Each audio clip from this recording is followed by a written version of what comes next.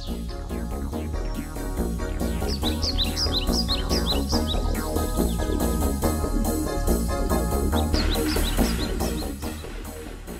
曜日の午前10時です。えだいぶ春らしくなってきましたけれどもやっぱり寒い日もありますよね、えー、体に気をつけて過ごしましょうそれでは11時まで1時間田原俊子のシネマケックスにお付き合いください。この番組の新コーナー独断映画ベスト10この音源がですねこの三角山放送局の YouTube チャンネルで公開しています。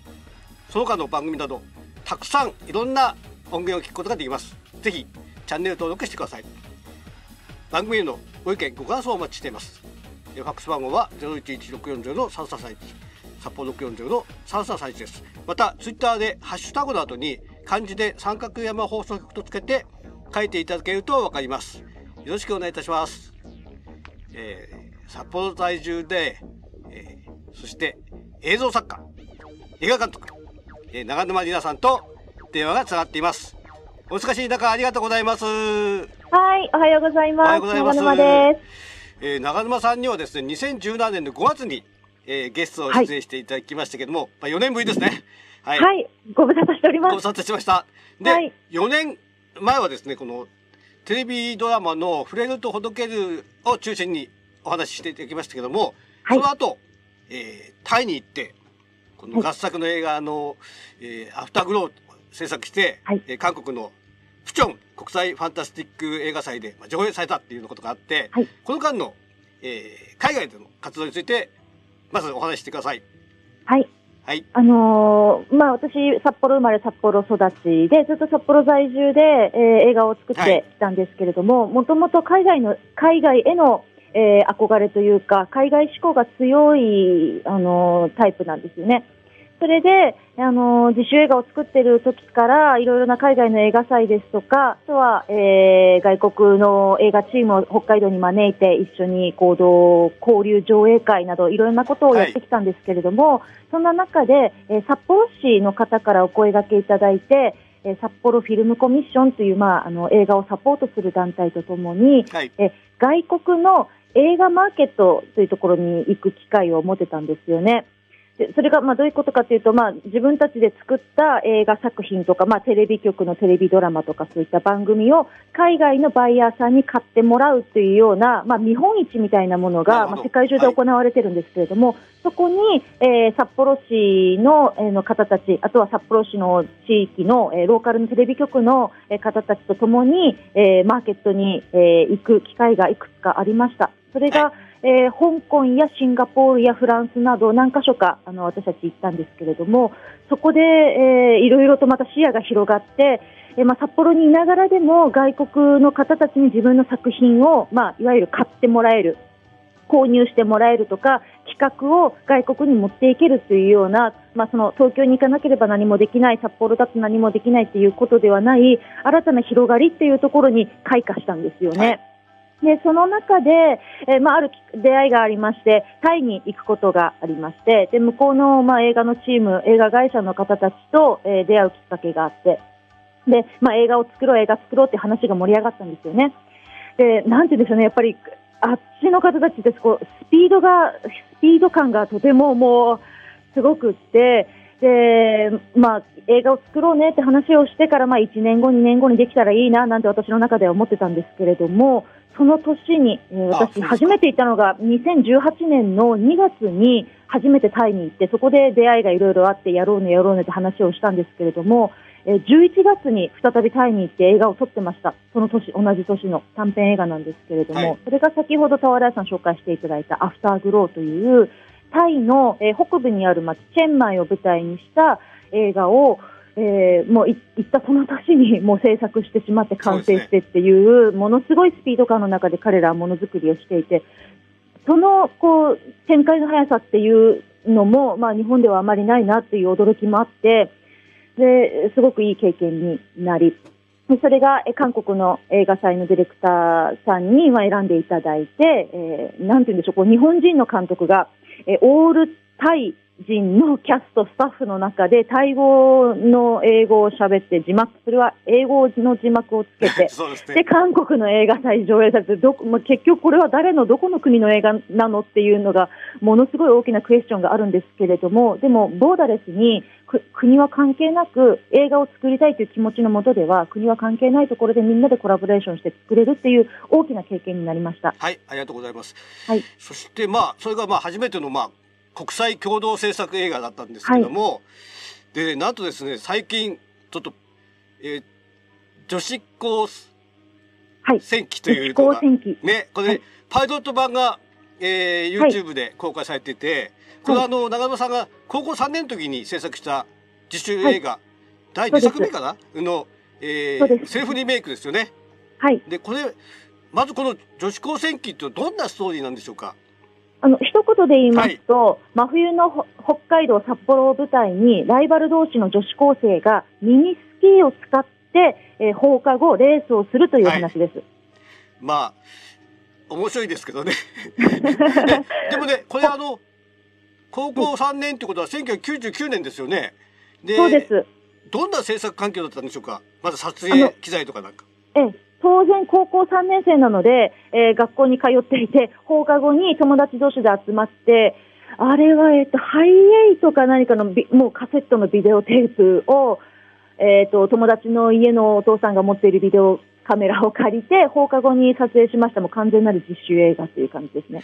えっ、と、ハイエイトって言うと、私もですね、1996、7年ぐらいから撮影してて、それで、はい、えー、いろんな札幌のイベントを撮影して、それをホームページに、はい、あのデータを圧縮してホームページに載っけるってことをやったんですけど、はい、なかなかあの、今見ると、すごい画像ですけども、でも懐かしいですよね、ねあの。もうある年代の方からすると、もうきっと涙が止まらない、懐かしくて涙が止まらないような、ハイエイトっていう言葉を聞くだけでも。そうですよね。はい。あのー、本当にあのいろんな意味で懐かしい映像だなというふうに思って、はい、あの映像も見させていただきましたけれども。ありがとうございます、はい、そしてまああの高校3年の時にその友達たちととか後輩たちと一緒に作った映画、はい、でこれ、なんと原作がですねあのー、映画監督の石井勝人さんなんですよね。で、私はこの石井勝人さんすごい好きなんですよ。パーティーセブンとか茶の味とか、えー、とても好きな作品が多くて、はい、で、はい、なんとですねあの、はい、石井監督は原作脚本を担当した、えー、劇場アニメの「デッドライン」はい、これあの、公開10周年ということで4月1日まで殺撃で上映中なんですよね。そうですそうです。あそうなんです、殺撃で、新しくリニューアルした殺撃でやってますよね。熱量のすごい高い映画ですよね。うん、はい、うん、で、この石井監督と、その高校生の頃に、どんな形でお会いしたんでしょうか？はいもう怖いもの知らずの高校生ですから、ちょうど私が高校1年生か2年生ぐらいの時かな、それこそサメ肌男と桃尻女が、はいはい、えー、シアター機能で公開されていた時に、もう私も大好きな大ファンな監督ですので、石井監督がシアター機能に舞台挨拶でいらっしゃるということで、それは見に行くしかないということで、学校帰りに制服を着ていって、えー、シアター機能に見に行ったんですよね。はい、で、えー、映画が上映した後にパンフレットを買ったらサイン会があるということで、まあ、パンフレットを買うお金はなかったんですが、えー、パンフレットは買えなかったんだけれども、列の後ろにな並んで、監督とお話がしたいということで、で、まあ、あの、取り計らっていただいてお話少しできたんですよね。はい、その中で私、札幌で今高校生なんですけれども映画監督になりたくってで石井監督、私に脚本書いてくれませんかなんてとっても大胆なお願いをその場でしたところそしてこう、まあ、住所を書いたメモをお渡ししたところすぐに女子高専期の原型となる原作のあのお手紙が届きましてそれはもう大感動でした。はい。そこが始まりだったんですね。ということで、はい、ここで一曲長沼監督の作品です。ね「アフターグロー」の主題歌函館在住のシンガーソングライターピーチの独り言お聞きください。美しい毎日がとてつもなく寂しくて一人ぼっちな気がする。を閉じて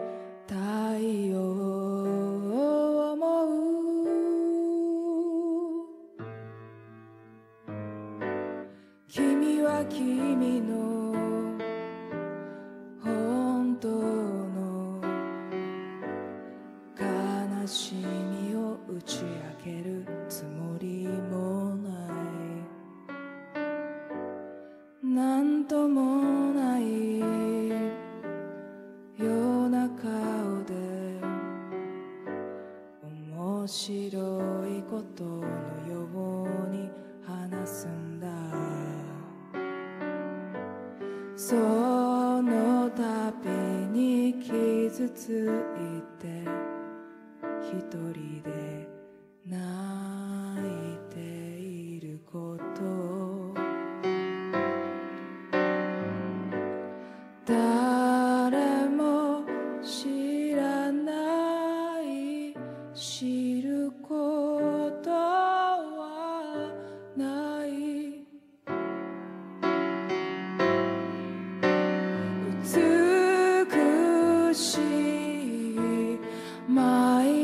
日が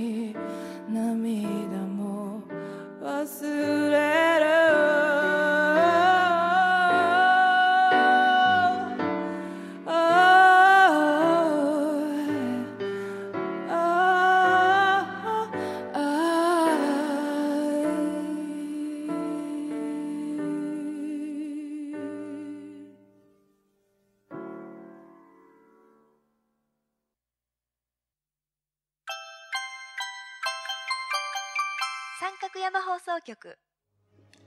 札幌在住の映像作家映画監督、えー、長沼玲奈さんと電話がつながっています。よろしくお願いします。よろしくお願いします。えー今回女子高専記このセルフでリメイクすることになった、そのきっかけ教えてください。あの、もともと、もう本当に99年高校生の時に撮っている時から、これはいつか大人になって、まあ仲間内の話なんですけれども、まあ大人になってもっと自分たちで、えーまあ監督としての力がついたりとか、もっと自分たちがレベルアップした時に、もっとこう大きな、まあ予算かけたりとか大きな規模でしっかりともう一度これをかっこよく、もっとふざけて撮りたいなという夢をもともとあの語っていたんですよねそうな。んですねええそれから、まあ、もう10年、20年なん、とっても時間が経ちましたけれども、その中で、また別の形で、あの、あの女子高専期取り直さないのとか、女子高専期もう一度見たいなっていうのを、あの、いいろいろなところで話を聞く機会が増えて、あら、皆さんすごく期待してくださってるのかなとか、女子高専期のことまだみんなすごく覚えててくれてるのかなっていう、あの、ことが、を感じる機会も多々あったんですよね。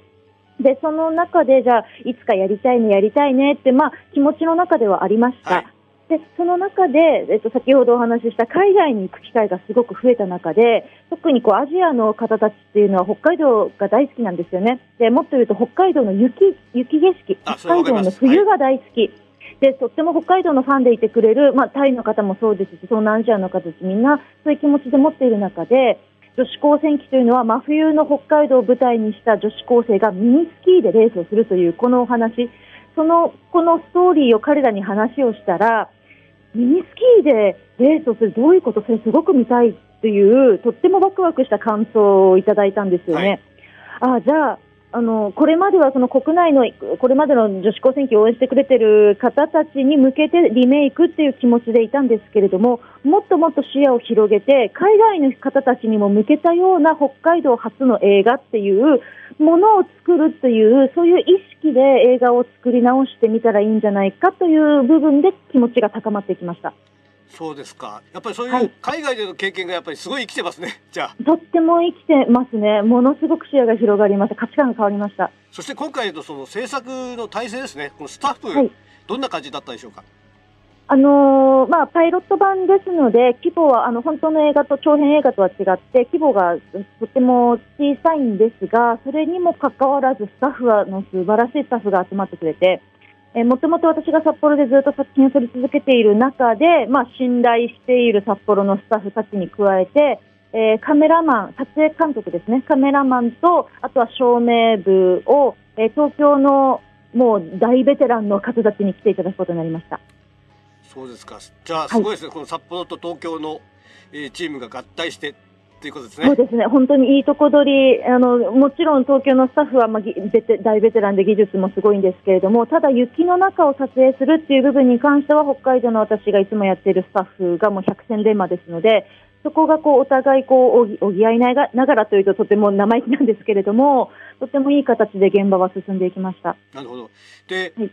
1999年の時に撮った、はい、作品のそのメインキャストの人が、今回は制作側に回ってるっていうようなお話で、そうなんです。え、あの、高校生の時に撮った映画ですので、出演者も当然高校の仲間たちなんですよね。はい、で主役の女の子が、えー、こ私の一つ下の後輩の女の子なんですよね。はい、で、え彼女とまあ映画作りをこう自主映画を札幌でやっていて、まあ、それぞれ高校を卒業して、彼女は東京に就職しにしてしまって、それでまあちょっと疎遠になっていたんですよね。